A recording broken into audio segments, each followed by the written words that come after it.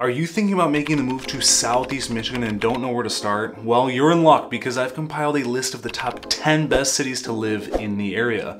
Whether you're looking for great schools, outdoor activities, or a vibrant nightlife, I've got you covered. So sit back, relax, and let's explore the best places to call home in Southeast Michigan. Starting off with city number one, we have Ann Arbor. Home to the University of Michigan, one of the best public universities in the country. But Ann Arbor isn't just for college students. It's also a great place to raise a family thanks to its excellent schools, world-class healthcare, and low crime rates. Plus, Ann Arbor has a thriving art scene with multiple museums, theaters, and music venues. And let's not forget the food. Ann Arbor is a foodie paradise with everything from fine dining to food trucks and plenty of locally sourced ingredients. This city is about 29 square miles in size with a population of around 122,000 people. So it's a little dense to say the least. Ann Arbor Charter Township, on the other hand, covers about 16.88 square miles with a population of around 5,000 people. Taking a look at the average home prices, you can see the three-year progression of home prices as the entire MLS is in blue at just over $288,000. The city of Ann Arbor in green is at just over $505,000, which was a 12% increase year over year, and Ann Arbor Township in yellow is over $726,000, which was a 7.9% increase year over year. Switching gears to city number two, Birmingham. A charming and affluent city known for its high-end shopping and dining, but don't let the fancy stores and restaurants fool you. Birmingham is also a great place for families with top-rated schools, beautiful parks, and a strong sense of community. And if you're a history buff, you'll appreciate Birmingham's historic architecture, including many homes from the 1920s and the 1930s. The city of Birmingham is about 4.8 square miles in size, with a population of around 22,000 people. Again, this shows the three-year progression with the whole MLS in blue and Birmingham in yellow at an average sale price of just over $804,000, which was a 6.4% increase year over year. Now you're looking looking for a city with a little bit more energy, check out city number three, Royal Oak. It's known for its lively downtown area and with dozens of restaurants, bars, and entertainment venues. But Royal Oak is more than just a party town. It also has great schools, beautiful parks, and a diverse population. And if you're into craft beer, you'll love Royal Oak's many breweries and tap rooms. The city of Royal Oak is about 11.79 square miles in size with a population of just under 60,000 people. On the other hand, Royal Oak Charter Township is about about 0.55 square miles with a population of around 2,500 people. Taking a look at the average sale price in both of these areas, the city of Royal Oak in yellow averages a sale price of just over $352,000 with an 8.2% increase year over year, and Royal Oak Township in green comes in much lower at just over $166,000, which was a 33% increase year over year. Coming into city four on this list is Rochester, a picturesque city with a charming downtown downtown area. Rochester is a great place for families with highly rated schools and plenty of community events throughout the year. It's also home to multiple parks, including the beautiful Paint Creek Trail, a popular spot for hiking and biking. And if you're a fan of art, don't miss the Art and Apples Festival, one of Michigan's largest juried fine art fairs. The city of Rochester is 3.83 square miles in size with a population of around 13,000 people.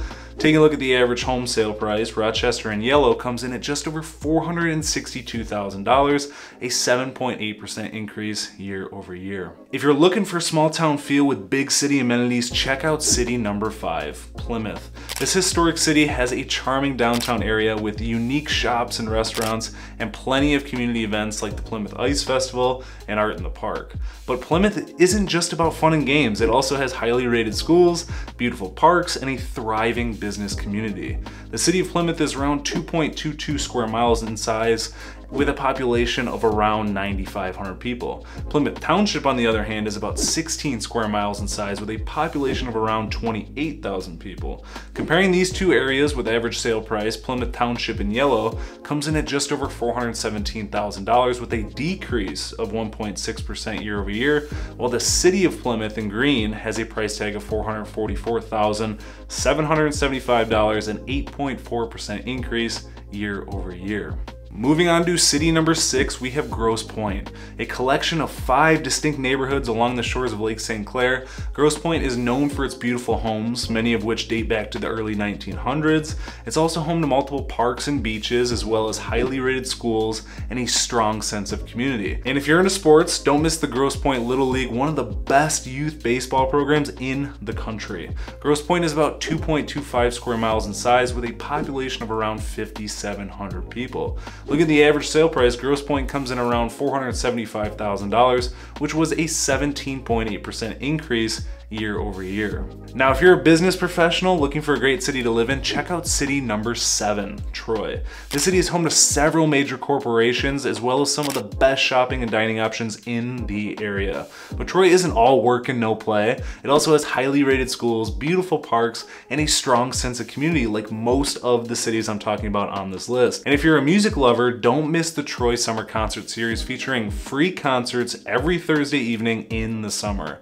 Troy, Michigan covers 33.63 square miles with a population of around 88,000 people. Taking a look at the home prices, Troy sits at just over $438,000, which was a 12.3% increase year over year. Next up is city number eight, Novi, a growing city with plenty of amenities for restaurants. Novi is home to some of the best shopping in the area, including 12 Oaks Mall and the outdoor shopping center Fountain Walk.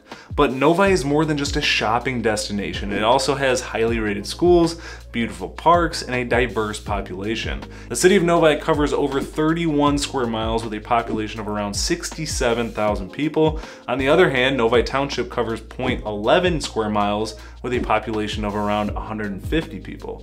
With that tiny coverage, you'll see how it affects the real estate prices. Taking a look at the city of Novi in green, you can see a steady progression up to just over $486,000, which was a 5.5% increase year over year. Whereas the township of Novi shows the sporadic stair-step pattern hitting a $368,000 average, which was a 33.3% decrease year over year, and this could have been the result of people overspending for a few houses at first and people selling their homes at a loss. Moving on to city number nine, Ferndale, a city with a strong sense of community, like I've said time and time again, and plenty of personality. Ferndale is known for its colorful downtown area with dozens of unique shops and restaurants. It's also home to a thriving art scene with multiple theaters and music venues too. The city is oozing with culture and diversity and is considered one of the most welcoming cities in Michigan and among the top 10 best cities to live for first-time homebuyers in the country. The city of Ferndale covers about 3.88 square miles in size with a population of around 20,000 people. The average sale price comes in at just over $259,000, which was a 7.7% increase year over year as it follows a similar trajectory as the MLS as a whole, which is in blue. Last but not least, coming in at number 10, Northville, a small town with a big heart. Northville is known for its historic homes and beautiful downtown area with unique shops and restaurants. It's also home to multiple parks and a highly rated school district. And if you're into history, don't miss Millrace Village, a living history museum that takes visitors back to the 1800s. Northville, Michigan covers 2.06 square miles with a population of around 6,200 people. On the other hand, Northville Township covers 16.5 square miles with a population of just under 30,000 people. Taking a look at the average sale price, you can see this chart is all over the place because it doesn't just include Northville and Northville Township prices, it includes the county prices because Northville sits between Wayne and Oakland County as well. The city of Northville in Oakland County is in blue, Northville Township in Wayne is in yellow, the city of Northville in Wayne is green, and the city of Northville in Oakland County is in red. The price ranges from 451,000 to 880,000, and of course, with the red trajectory, it was the result of several large sales that increased the average sale price in the area within the last couple months or so. So there you have it, the top 10 best cities to live in Southeast Michigan.